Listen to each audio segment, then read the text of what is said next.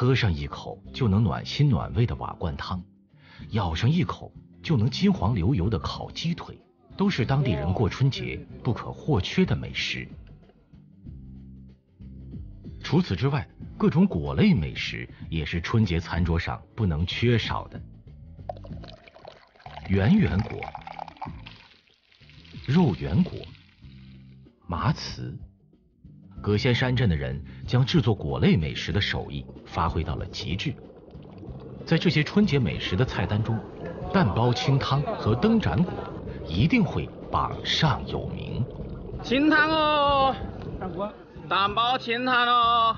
这是移动的快餐车是吧？这是。嗯，对对对对。哦，清汤我们这里皮很薄的，哦，几秒钟就好了。哦，直接在碗里打好鸡蛋，把这个皮儿直接冲到这个碗里去啊。是的。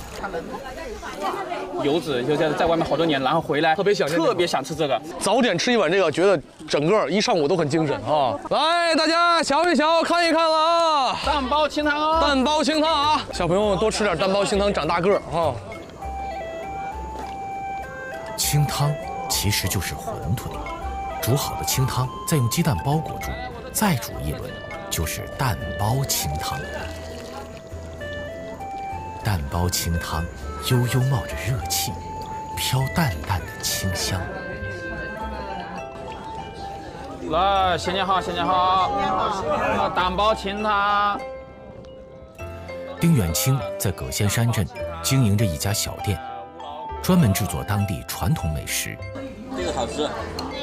他的烟噻，你过时过节都要去搞，都要做个，大大小小其乐融融，哎，就是这样个。回来呀，家里爸爸妈妈就给他们做的嘛。啊，好久没吃到这个东西了。家家户户都别个，这是祖家那个咱的烟噻。过年的，最主要是吃的好的，啊，小孩子拿着红包都蹦蹦跳跳。每年春节，丁大哥和妻子开的小店，都是整条街上最后一个闭店休假的餐馆。为的就是让回乡的人能吃上这一口家乡味。